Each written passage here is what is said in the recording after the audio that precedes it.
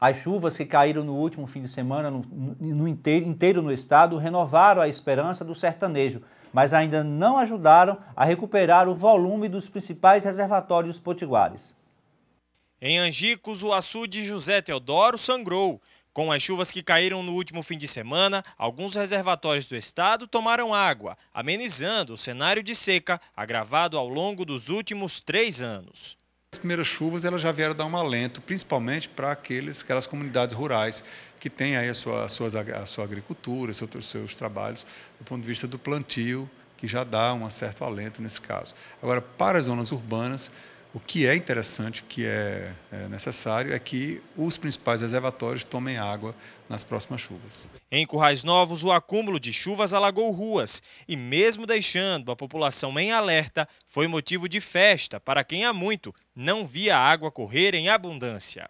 Apesar das chuvas, a previsão da Imparne é que o inverno este ano seja considerado normal ou abaixo do normal. Isso significa que a recuperação dos reservatórios potiguares, muitos deles no chamado volume morto, aconteça de forma lenta. Ou seja, para garantir o abastecimento dos municípios do estado, é necessário mais do que esperar que a água caia do céu. É necessária a aplicação de um plano integrado de ações que a gente precisa de fato é que esse Plano Estadual de Recursos Hídricos, a partir de uma integração de todo o sistema que trabalha no Estado, são várias secretarias que atuam na área da, da infraestrutura hídrica e da segurança hídrica do Estado, que esse sistema seja integrado.